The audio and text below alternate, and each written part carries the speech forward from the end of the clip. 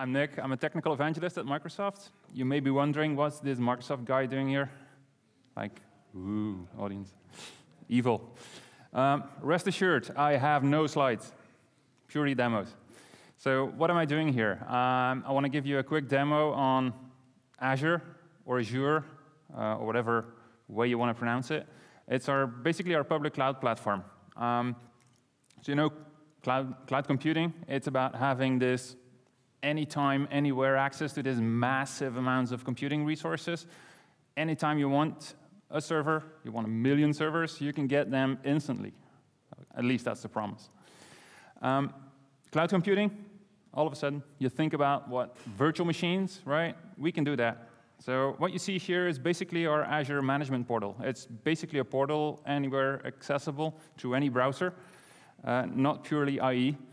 Um, so um, rest assured. So we can create virtual machines. Just do new. And we can do a quick create, because it's a lightning session. So we're going to go fast. So we give it a name, an old pirate tradition. We're going to give it the ARR VM name. And lo and behold, what you're seeing here is Windows Server, but also we've got Linux, we've got SUSE, we've got Ubuntu, we've got OpenLogic. So Linux running in Microsoft's data centers. Ooh, talk about open. So, so we give it our password, our secret admin password, zooming out a bit, and then we can choose where do we want to have this virtual machine running. It can be in the US, it could be in Europe, it could be in Asia, whatever. You have full control. So uh, let's uh, deploy one in Northern Europe, uh, which in Microsoft terms is Amsterdam.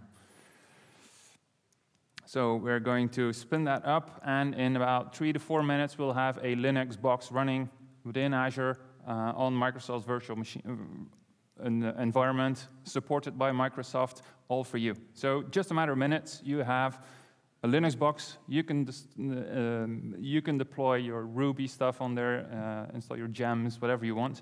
You're up and running in a matter of minutes. Of course, you're a dev or a web dev.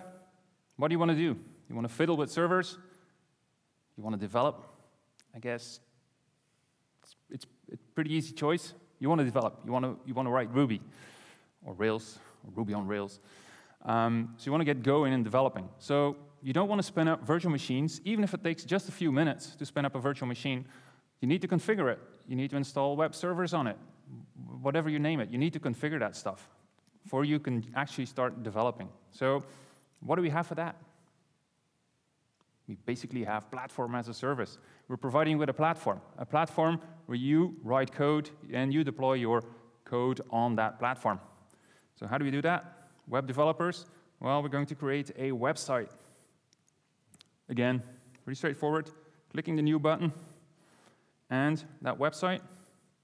We got a couple of ready-made application frameworks available for you. So you can spin up either just an empty slot for pushing your code in, or you can just go and pick one, pick one application framework that exists, and just install it.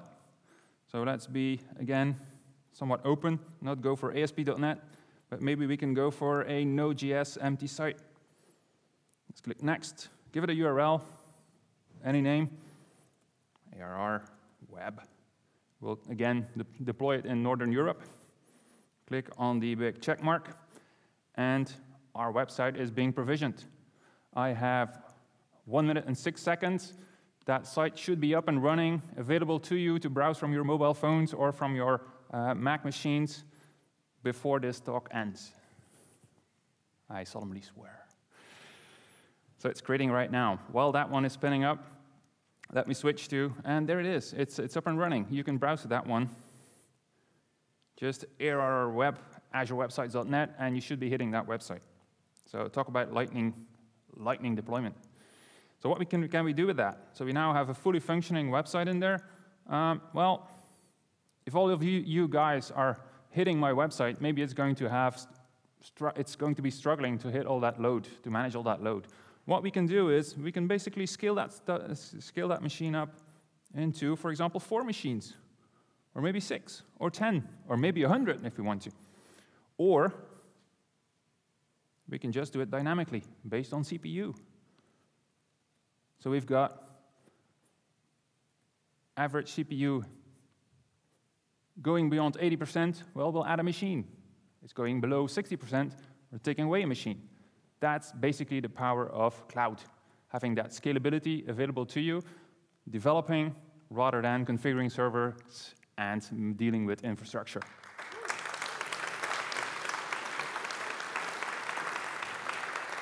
There you go.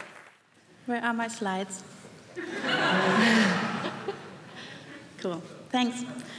Okay, this talk is about half an hour, so let's see how it fits in five minutes. hey, we are the Code Padawans. We are a Rails Girls Summer of Code team of 2014, and this is our last day of our Summer of Code, and we want to talk about that. yeah, this is us. I'm Ute, and uh, also Nerd Babe on the web, and I'm studying computer science, and I'm also a Rails Girls Berlin organizer. Uh, my, my name is Magda, Magda from Twitter.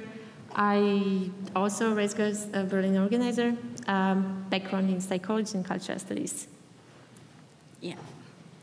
So uh, first we talk shortly about what the Summer of, uh, Girls Summer of Code is.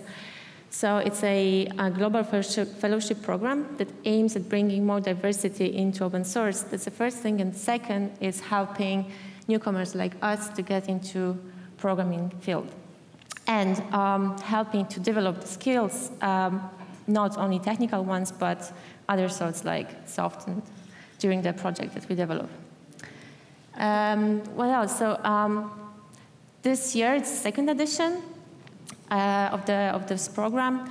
It's um, 10 teams that have been chosen to work on an open source project for three months, and we are paid to, to do that uh, which is really cool. And this is possible thanks to community, actually, so thanks to you. So there's, there are uh, sponsors and there are like um, individual donations. So for the next year, what you can remember to do is to, first of all, spread the word about it. Second of all, you can become a sponsor or a donator, or you can become a coach. Or a coaching company. Yeah. And why this program is important? So basically, well, it's helped us a lot. We had a lot of fun. We learned a lot. And we did produce something that you can use. And we talk about it in a second. So this is our team behind us. We had two coaching companies. It's uh, Asquera from Berlin and uh, also Fyber. And we had a lot of coaches that supported us in the last three months. And uh, yeah, thanks. Arne is here. Arne, thank you. and yeah, and this is our project, Ataru. We, uh, last week we released the first version on Ruby Gems, so you can download it, you can use it, and you can give us contributions or issues or bug reports. Yeah, please yeah. do it. I mean, like the second release is on the way. yeah. so, well, yeah. yeah. Okay, um, so what Ataru does, what it is, it's a documentation testing tool that uh, reads your Markdown files if it's written in a GitHub flavored Markdown and it has the code samples in these files, and um, yeah, yeah, you can you can uh, run it from command line or um, uh, from Travis. Yeah, we did plain Ruby, and there's a lot of magic in there. We used something that you don't use, like evil evil, and yeah, it's a lot of interesting things happening there. And, so uh, Arne talked about Anima, like this gem, and actually what happened was that was a gem that like we uh, used to test Ataru against, and there was a bug that Ataru found. That's, so you can see it really works. Yeah.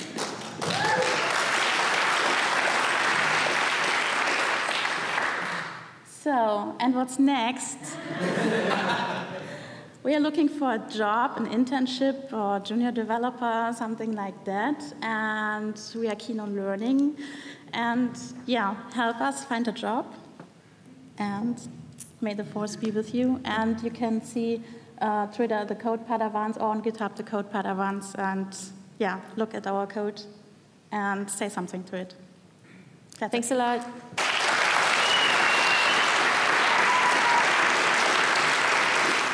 All right, I want to talk about a, a little uh, gem we made. It's called Tabulator 2. It's for uh, it's to create actual uh, index pages for lazy people. Um, we, that is, uh, there are three colleagues of mine, uh, amongst them is Florian, who had done a, a, lot of work on this. Um, we are uh, from Germany, um, and uh, we, we brought you sauerkraut. By the way, she, she, looks a little bit like the cat, doesn't she? Well, but anyway. Um, what we are talking about is index pages. So the pretty normal index page, as you see it on the scaffold or whatever, is very much what you see on the left. It's just iterating. I, I, I used Slim for brevity, but in principle, uh, Erubis looks just the same. You are iterating over the elements of what you want to show, and uh, yeah, out, you are outputting the, um, the actual table. So if you're pr producing a Linux page like that, your product manager may come in and say, yeah, this is great. Just quickly add pagination, filtering, sorting, searching, batch, batch actions, and then you can go home.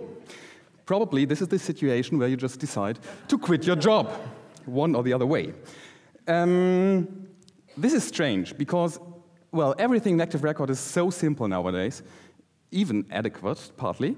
Um, for forms, simple form is so simple. All this routing is so simple, everything is simple. But these tables are still somewhat annoying. Um, why? Well, it comes, it turns out that it's, well, it's, it's quite a hassle to put all the pieces together. There's nothing complicated about it, but it's so many different pieces. So, yeah. Um, but now we have tabulator 2. Um, we just have a quick look. What does a tabulator index page look like? Um, the index page itself is really just a table for customer, for example. The controller is just a tabulator for customer. And you have an, one additional file, which is um, the customer tabulator data file, which just inherits from tabulator data. And you're writing in the names of the columns you want to you, uh, use in your table. You can specify how to search in the, in the table, and you can get a lot of uh, different options. I uh, omitted most of them, but there are quite a lot of them. Um, and this is what this table looks like, now. So there's nothing else. There's no markup uh, in the application itself. It's really just from the gem. And I'll just quickly switch to, uh, to a live demo, probably. Oh yeah, this is cool. I have to turn around. This works quite well, I guess. Um, so yeah, this is it. You have uh, sorting, you have filtering, um, as, as, specified. I want to um, filter by first and last name, so Aaron and Garg, or Garg, or whatever, uh, are both, both met. Uh, you can do, uh, well, actual filtering, for example, you can filter by balance um, from, well, whatever, minus 100 to 100, uh, and so on. So this is all for free. No code required at all. No further, further code required. Um, I'll just find the cursor. Here we go. Um, yeah. So what else is there? All the data is, is, fetched via Ajax. So there's a lot of yeah, Ajax requests going on there. Just um, pages that you have seen already are, are being cached normally. Um, you can specify special uh, SQL for filtering and sorting and so on to, pre uh, to prevent the n plus 1 case. You can even prevent the uh, 2n squared plus 7n case. Um, by default, tables are stateful, so if you leave the, the index page and come back later, you will be on the same page, same filtering. This is done uh, with uh, client-side uh, storage. You can use infin infinite scrolling if you so wish. Um, there are shortcuts for action buttons. I used that uh, in, the, in the live demo, very, uh, very simple. Um, you can use it for static tables without Ajax. For example, if you know there are, will be only 10 or 5 or whatever items that you're about to list, you can uh, use these. Um, there is support for batch actions, like you select a couple of, of rows and say delete or activate or whatever. Um, and there's really a lot more. The documentation is, well, sufficient. Um, just very briefly, how does it work? I can really just give a very rough concept. But um, you see, this is all the, uh, the components. Uh, the renderer, there's a, another uh, on the right for the details, just if you care, just have a look. Um, now, developing with Tabulator 2 is, well, it's pretty fun because, yeah, you, you're buff, so this is it then.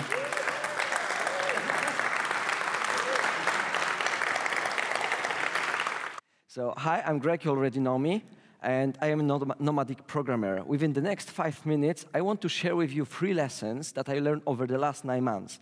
Last nine months that I was constantly tra traveling, living in hostels and rented flats, and working as a freelance Ruby developer. So, the first lesson is about burnout, but to learn it, uh, we need to go back in time more than a year ago, I had a really nice job in a, in a startup with really cool team that I could learn a lot, a lot. But suddenly I stopped enjoying my work.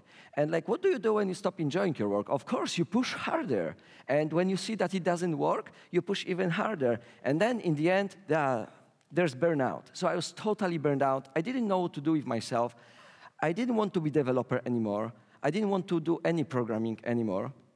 And it led me to a conclusion that burnout totally sucks. Like, you shouldn't get burnout. It's much easier, and I, I truly believe it's much better to prevent it than recover from it. So instead of pushing harder, you should take a break, you should go for holiday, you should maybe, I don't know, you should try to do something else, get some hobby, whatever. Just do not allow yourself to get into a position that you're burned out. And what this situation led me to uh, was, was something totally extreme. So I quit my job. I bought the ticket to the farthest place on earth, which, if you are in the middle of Europe, is New Zealand. I took my backpack and I just went there with basically no plan and no idea what I'm going to do. So then I left the plane in New Zealand and I said, okay, I'm in New Zealand. They've got Kiwis here. and okay, let's see what's what, what, what I will do. I had just hostel booked for two nights. And then uh, I learned a lot about fighting my fears. So today we had really cool presentation about this imposter syndrome and about thinking uh, that you can't do some things. And I learned a lot about it. I learned that if you leave your comfort zone and leave it far, far away, uh, you're open to new ideas. You're open to fighting your fears. So I am a man of many fears, and all of us are. All of you are scared of something. We just don't talk about it because we live in this culture that requires us to be strong and not to show our fears. One of my fears is that uh, if I'm in a skyscraper, or uh, skyscraper, if I'm on the fifth floor on the balcony, I'm so afraid that I'll hold this rail because I'm afraid that I will fall. And if I swim, and I'm swimming, uh, and everything is fine, and then at some point I think, hmm, let's see how deep it is. And when I realize that I cannot touch the ground with my feet, I panic. I suddenly panic. So these are my fears. And my fear was also like living somewhere far away from home. But step by step, I started fighting that. And today is day number 276 of my travel. I stayed in like, I don't know, 70 different places. All the time I'm changing places and I'm changing what I do. And I started fighting my fears. I jumped from this cliff and I, and I took diving, uh, scuba diving lessons. And it led me to conclusion that I can do everything.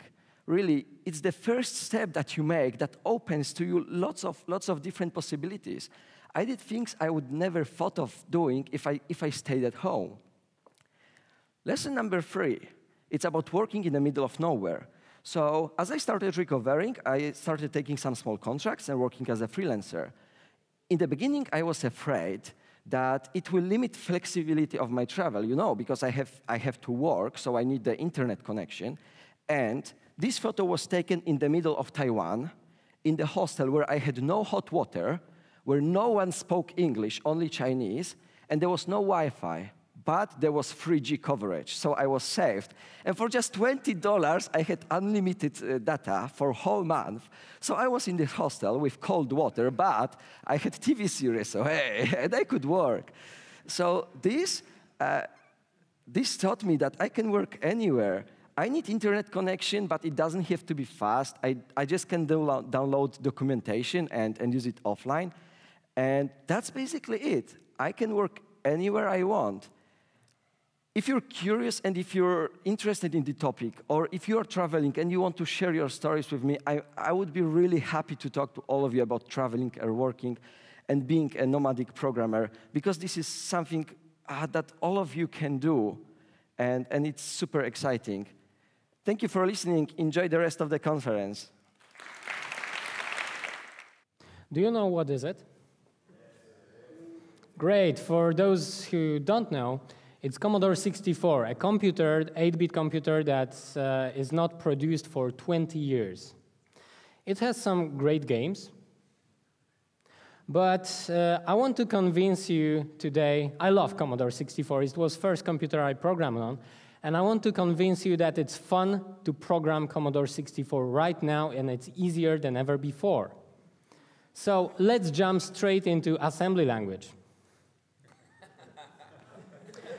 So here I have some listing of the code that I'll uh, explain a bit later. If I compile it, no, this is the finished version. So if I compile this, then we have like uh, two, uh, two top lines of code are like animating, and basically, here's how it works. This is the main, uh, main subroutine. First, it fills the top line with letters. Then uh, there are two color cycle functions. The first one uh, cycles colors in the first line. The second one is second line. Then we add some delay, and we jump back to this loop. Let me enlarge it. But that's not what I want to show you today. So let's first, let's remove this call from here. And in the color cycle 2, instead of returning from subroutine, let's jump into something called interrupt address. Then we will, in the main routine, we will hack this. So we will set the interrupt don't worry.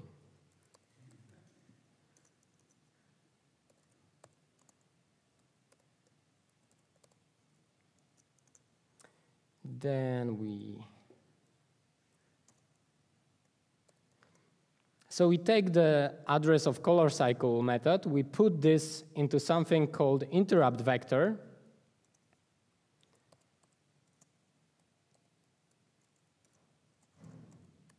We have to do it byte by byte because uh, that's the size of the uh, register in Commodore 64.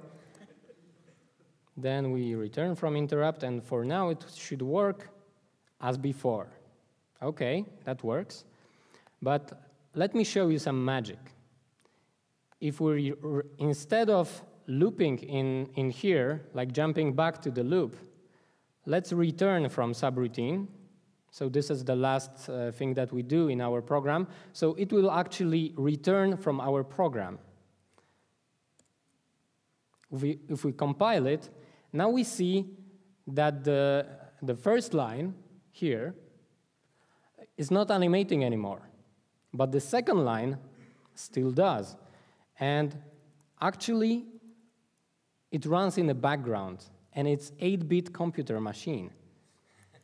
So that's something that I, when I first discovered made me fall in love uh, with Commodore. And yeah, if that doesn't convince you, I don't know what would.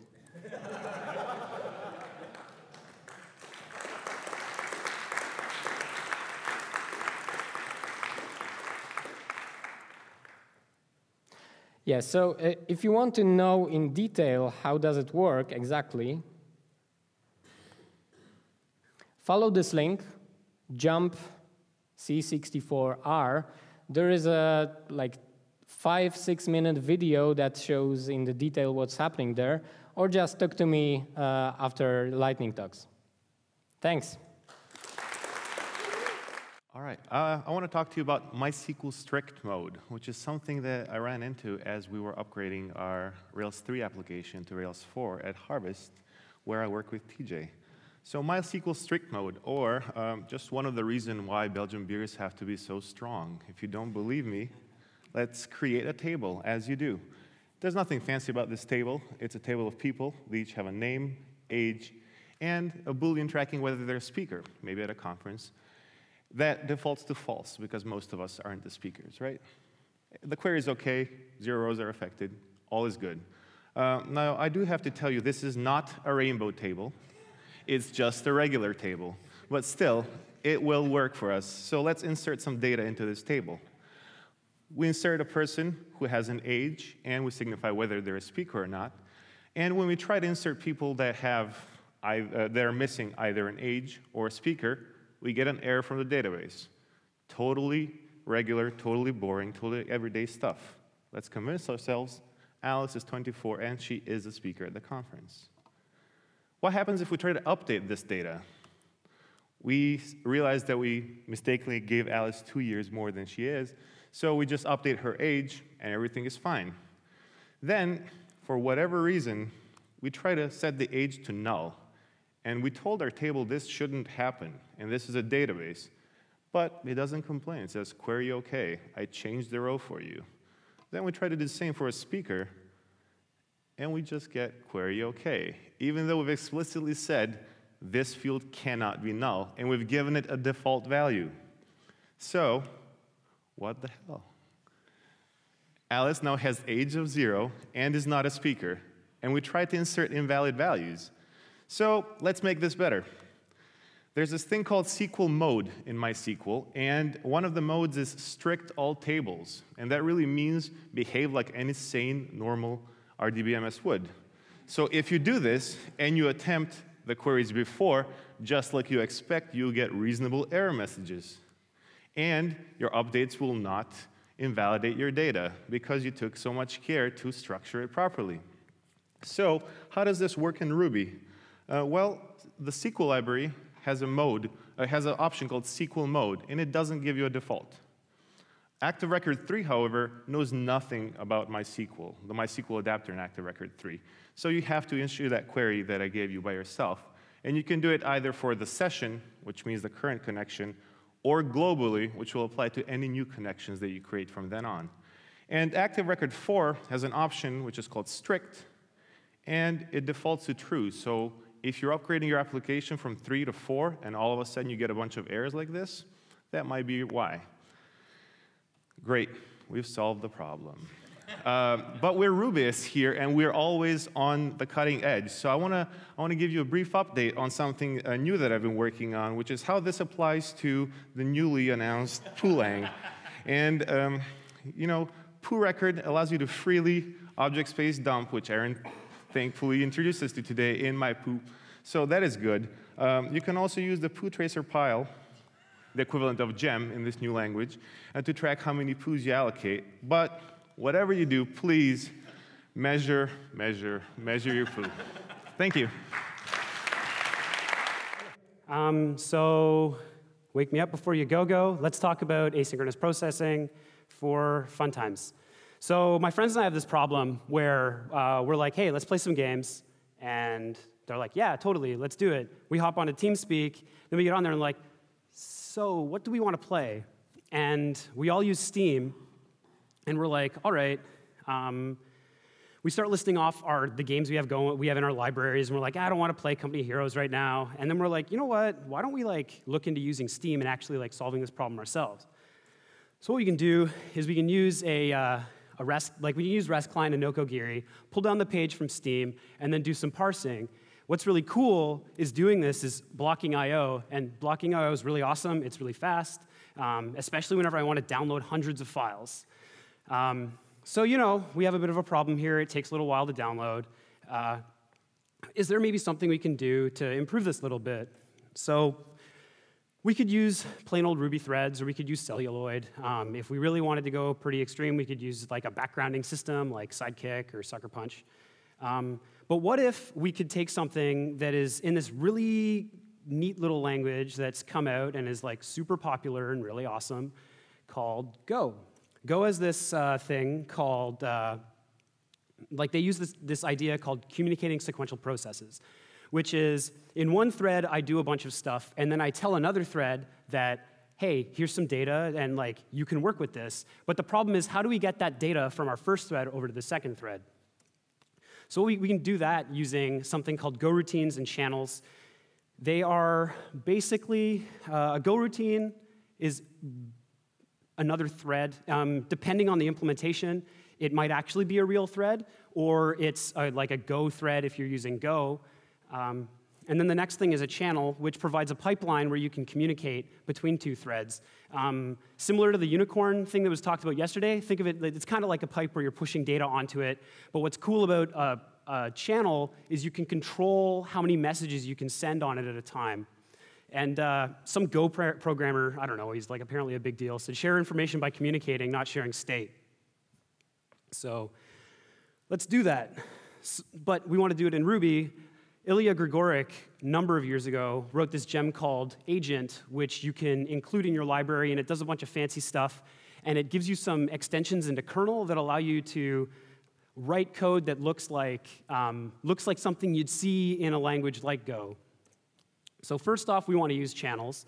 So what we're going to do is we're going to create that channel. Because we haven't specified the length, it's going to be uh, a, an unbuffered channel. So I can push one message on it, and then I'll block. So we'll go through all of our pages, fetch those pages, and write them to that channel. Until someone, else, someone reads from that channel, that will be a blocking operation. And then in our extraction, we receive from the channel, we get two things back. We get the, uh, the content of the channel, and then whether the channel has any more data for us. Um, if we're done, we just, we just leave. Otherwise, we go in, uh, create the document, extract it, and do something with that data. The way we use uh, Go routines in, uh, in Agent is it's, you just say go with a block. So I have my channel, I say go do download pages, and then go extract. And the nice thing about using Go routines is it allows you to write code that looks very sequential, but it's actually asynchronous. So now that we've gone, all, gone and done this, I'm able to download like my 200 games from Steam, extract the information because the Steam API doesn't let me know whether a game is multiplayer or not, and then say, hey guys, these are the games I can play, and then we decide to play Company of Heroes anyway. Um, so thank you. Uh, my name's Chris Saunders, and uh, if you'd like, if you go to bit.ly Steamy Gaming, uh, you can see the application we've built, and talk to me after if you'd like to see the code. It looks kind of nasty, but it was a really fun little project. So thank you. Um, when I first gave this talk, it was an hour. I'm now going to put it in five minutes, and I still don't know what the title should be. Uh, first, I called it hexagonal rails. I had some issues um, in the reception. Uh, then I changed to API-driven development, which was somewhat more friendly. Um, then I mentioned not the Rails way, which some people might find problematic as well. Uh, and then I kind of settled on the name command and query classes, not separation. But all in all, actually, I'm just trying to attempt to get the highest amount of slides in, uh, per second here. But really, really, um, it's an idea I've been working on for a few years, um, and I'd like to know what you're thinking. And at this point, I have a bit of an imposter syndrome problem. So why this um, idea? I've been working for six years on the same thing. Um, it's kind of like a big HTML monolith. It has lacking specs because I used to think I was an awesome developer who didn't need those. Uh, so regressions all over the place. New requirements come along, we need to build an API, which there's less chances for you to then go and change that. Um, we wanted to actually know what this app was doing, specifically the old code, uh, and overall have less regressions. Oh, should I start over? okay, so I'll, I'll continue. Uh, so I had an idea uh, let the API drive new development. Um, some rules in there. Future-focused, build um, how the application is going to be in the future, not how it is now, or at least pretend it's like that. One endpoint has to be one class that encapsulates behavior and spec those. Then reuse those classes in the old controllers so we get our coverage up rinse and repeat until the entire application has been uh, rewritten. Yeah.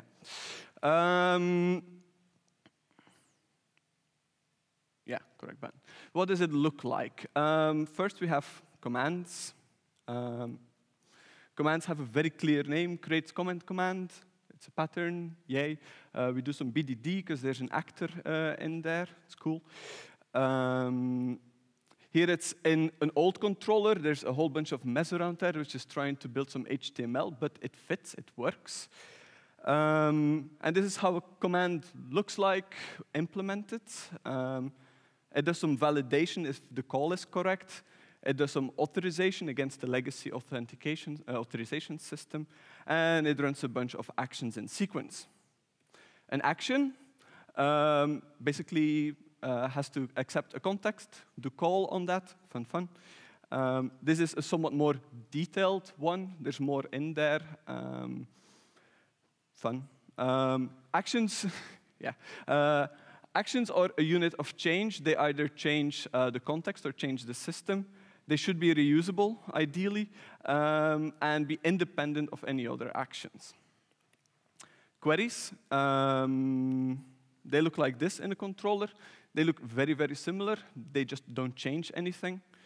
Um, this is how the base class of queries look like. It's a template pattern. Um, it validates the query, again, sets up a runner, and then the runner runs the query.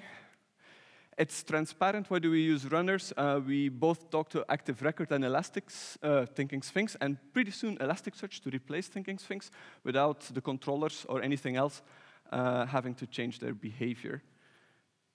And that's about it. Uh, if you'd like to talk about these ideas, um, I'm open for it. That was 31 slides, and I still have a minute, so I can take a picture.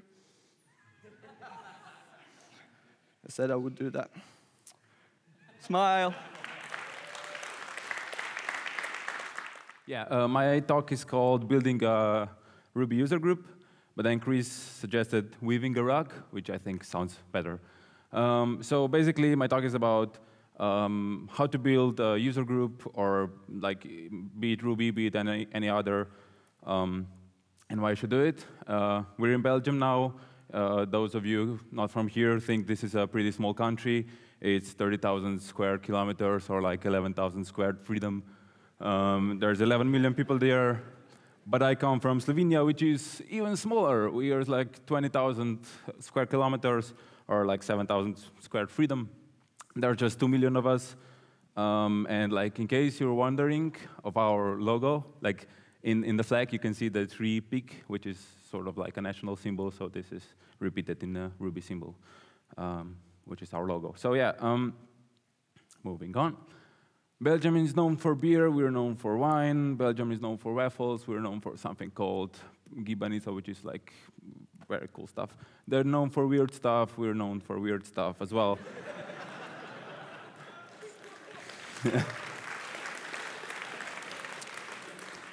So as you can see by my t-shirt, last year I got scholarship for uh, RailsConf. I went to Portland um, to get some freedom uh, to go. It was, it was awesome. There are many user groups. Like the, the community was, was very like vibrant, very welcoming. Um, they, were, they were really nice. And like, then I came home and there was no user group, and like I only knew a couple of other Ruby developers, and I was like, oh, there's probably just like three of us or something. I, I don't know. And uh, I miss Portland. Uh, they, have, they have great coffee. So uh, then I was talking with some other Ruby developers, and like uh, well, we had a thread on, well, like a group on Facebook, and I started there. And I said, okay, let's start a proper Ruby user group. How hard can it be? Famous last words. Um, I went to meetup.com, registered a user group, and like set up, uh, let's go for a drink. It was December, so we went for Glühwein, um, but it was like in, in general, I expected totally when, when this would start to like having 15 people. I think that's like for a country with 2 million people, for a town with 300,000, that was more than enough. And I only knew like three, three other Ruby developers. And then like the actual meetup started. Um, I think what's important is the venue. We had some trial and errors here. Um, and like also talks, we had some trial and errors here because you have some very, very boring talks and you, you can't convince them to stop. They're just like, they're, they're going, they're going and going. So, but this is the most important part. Like if you're, when you're picking a venue, pick one that has no tables for the after party. Because what happens if there's an after party, people sit down with the people they already know. And they talk with the people they already know, so like there are no actual community happens because you don't get to meet new people. But if you don't have any tables, people move around, or like just have like standing tables like they are here. That's cool. You move around, you meet new people. When you get comfortable, when you get like drunk enough, like I, am now, uh, it's it's awesome. And currently, at the, like when I was writing this, we had like 62 members, which is wow. I, I never expected this. Uh, usually we have like 20 to 30 per, per meetup, which is also awesome. And yes, we had the Ruby burgers. There's one today. You should go, well, if you're registered. One cool thing about having a, a, Ruby user group is sponsors. You just write to them, like these are our sponsors, but they're like, more, most of them, like all of them, have a special page for a Ruby user group where you can like, or like general user groups, where you can write like, we have a user group, we are that and that members, like, do you, are you interested in sponsor, sponsoring us? And like, uh, the big ones, Informit, Apress, and O'Reilly, they're gonna send you free books for review. They're gonna give you a discount to all your to all your members, like 50% discount. Um, JetBrains gives us like at each meetup we have, we raffle one RubyMine license, so that's that's pretty cool. That drives up the attention uh, as well. And Pluralsight gives us some licenses and stuff. Um, but the point is, like, there are sponsors willing to give you free stuff. You just have to email them uh, we also have stickers, which is basically like meetup.com has like uh, a fee, and there are some other expenses with, with the group and all that, and we were like selling them for one euro, and uh, that's, that turned out pretty cool. Um, like as you see, people have them everywhere, even on the Mac, Sticker Mule apparently is like dishwasher safe. Um, anyway, no country is small enough, no city is small enough, um, even two people is better than one.